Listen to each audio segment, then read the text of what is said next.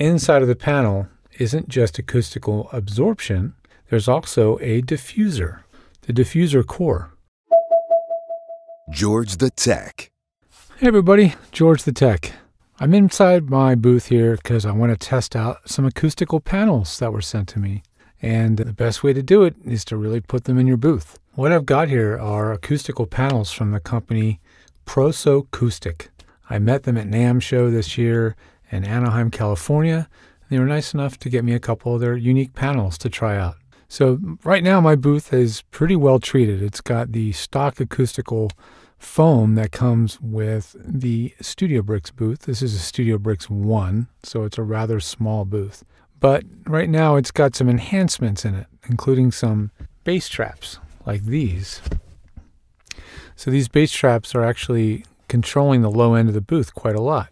Well, I thought they're kind of bulky. Maybe there's a better way to do it. And I got some panels that we can try out as an alternative to these big chunky bass traps.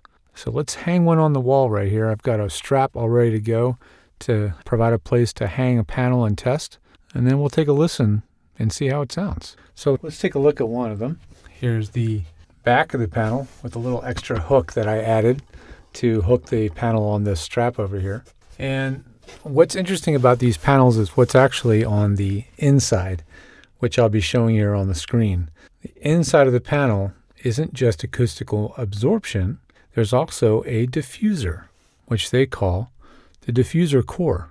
The diffuser core is a way to get more performance out of the material that's inside the panel by just diffusing the sound that passes through the acoustic layer. And then on the return, the sound is scattered, passing through more of the acoustic absorbing layer. That's the theory, right?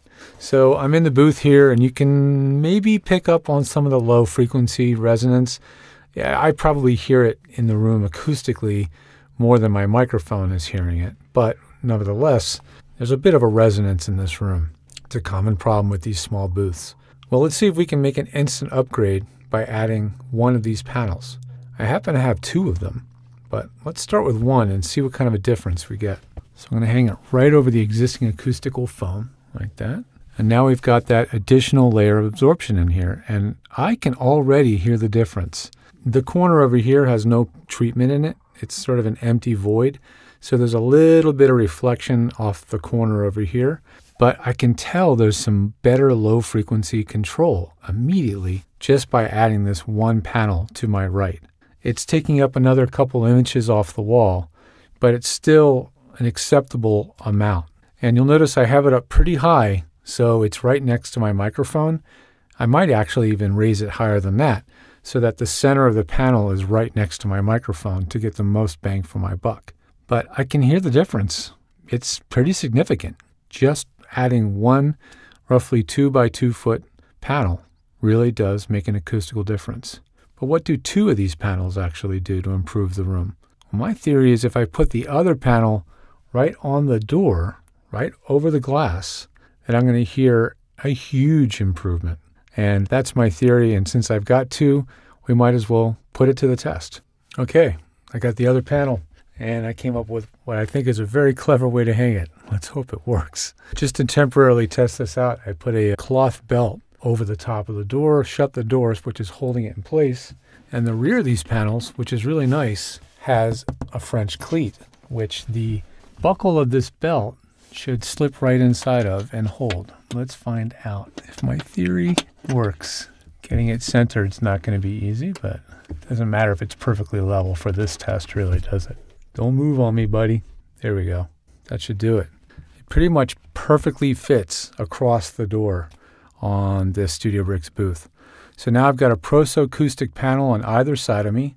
Even in this pretty confined booth, I still have a decent amount of room to move around. Again, maybe I would move this panel up a little bit higher since my microphone's so high and I'm so tall, six feet tall. I want to have a little more wingspan. So having this panel on the right higher may actually be quite helpful. In fact, what the heck, through the power of editing, I can do this right now and show you how it works. Okay, let's go ahead and hang this on the loop. There we go. That gets it up nice and high. Now both the panels are about six inches or so from the ceiling on either side of me. Can move my arms around. My arms are basically below the panels, so they're not really encroaching on my arms too much. So I'm not losing too much of my usable space in here. And the improvement in sound is pretty dramatic. There's still a little bit of a very low end resonance in here, which I know is a big problem because it's the size of the booth. It's going to have a resonant frequency of around 75 to 80 hertz. And if I can sing low enough, mm, I can find the frequency. Don't know if it's resonating in the microphone, but I can hear it. However, the mid to low mid stuff that was still bouncing around in here and making it not sound so great, it's gone. The ProSoCoustic panels are doing a fantastic job tightening up the sound and making it sound the way it's supposed to sound, which is a focused, clear, non resonant sound of my voice. So they clearly work. They're really good looking. Other unique things about them is they're washable and the fabric is changeable. Because of the design of how the fabric is attached to the rear, it's very easy to remove the perimeter of the panel. Just like a screen, you can remove this rubber surround, pull that out, and the fabric comes out. So you can wash it. Or you can say, I want new fabric. Call them and say, I want a different color of fabric. They'll ship it to you. You wrap it around, use one of those screen tools to roll the rubber into the channel, and now you have a whole new panel without having to do stapling, gluing, any of that stuff. So there you have it. There's the ProSoCoustic Wave panels. Brilliant design, reasonably priced, and in a small booth like this, if you've already got the existing factory acoustical treatment, you might be only needing two of them. In an ideal world, I probably would have three, one on either side and one behind me. That would give me the absolute best bang for my buck, I would say, in terms of treating a small space. But they definitely work as advertised. Really great stuff. Well, thank you, ProSoCoustic, for sending them over. I'm really enjoying playing with these WavePro panels. I hate to ship them back to you, but you did send me a return label, so I'll ship them on back as promised. Thanks so much, everybody, for listening. I hope you enjoyed this acoustic demonstration. And if you like acoustic demonstrations like this, tell me. Right down below in the comments.